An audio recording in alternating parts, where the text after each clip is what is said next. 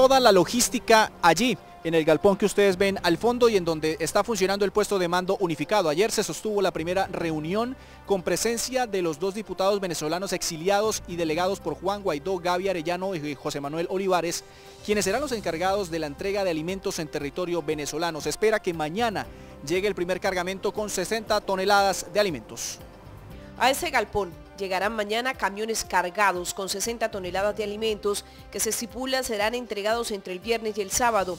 La entrega de las ayudas humanitarias será en territorio venezolano.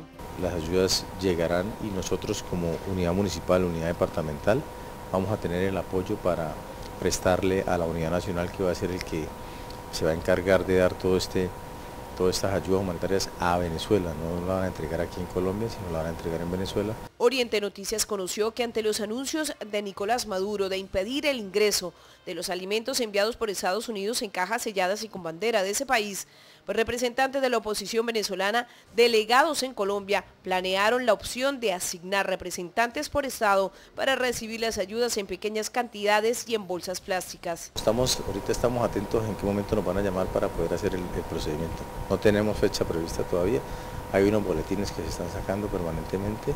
Los diputados exiliados en Colombia, Gaby Arellano y José Manuel Olivares, son los encargados de coordinar las entregas en suelo venezolano.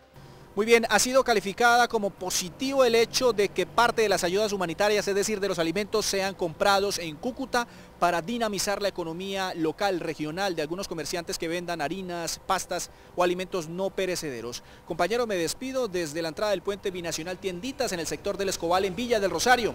Ustedes continúen con más información desde estudio. Buenas tardes.